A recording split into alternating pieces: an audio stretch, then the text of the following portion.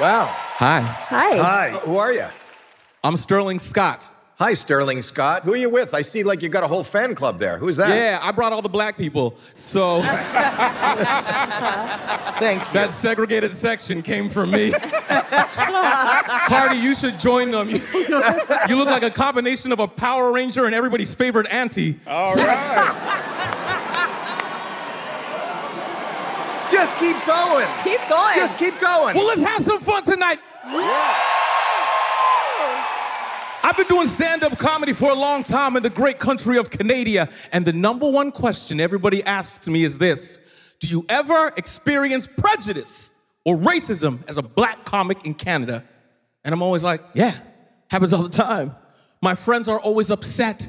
They're like, How is this still happening? And how come I never see it? And I'm like, It's because you're white, it's not directed at you.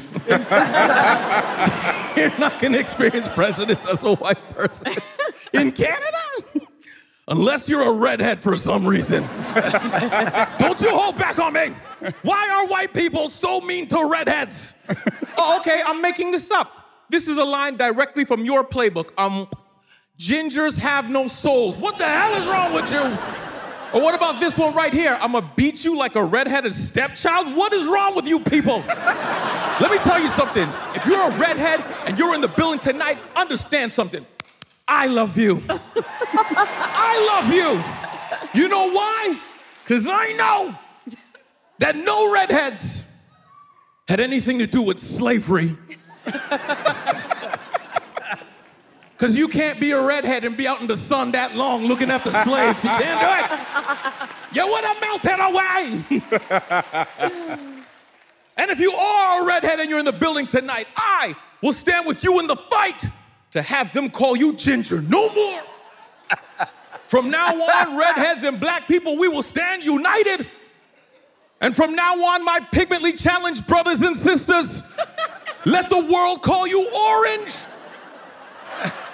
Because if you take the word orange and you rearrange the letters, it'll spell a Negro. and that's why orange is the new black.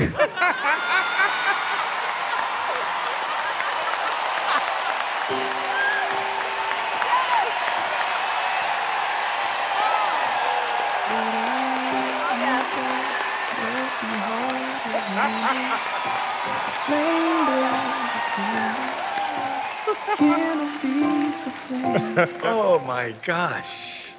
You're amazing. You're really amazing. What are you thinking? Tell me what you're thinking. All, all kidding aside, what are you thinking? You look very emotional. Then I am Glenda Scott's son, and she's here tonight. Oh my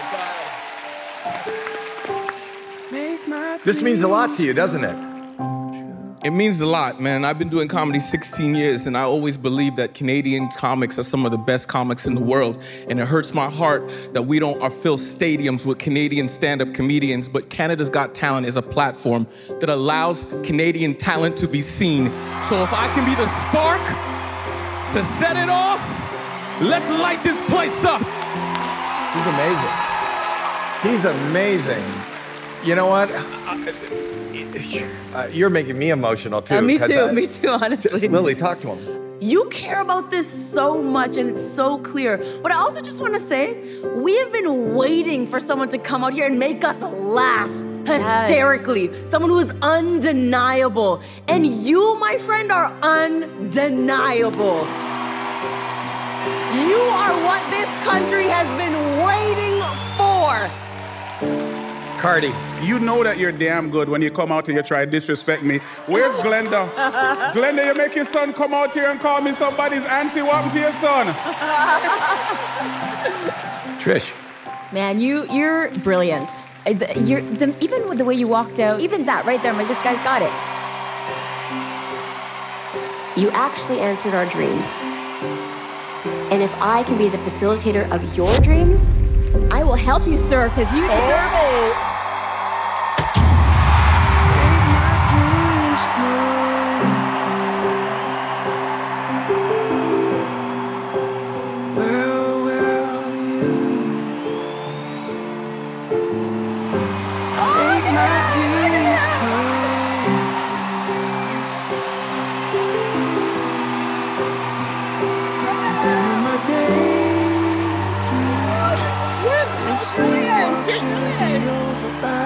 You are Trish's golden buzzer, which means you're going straight through to the next round. And it means you've just won 20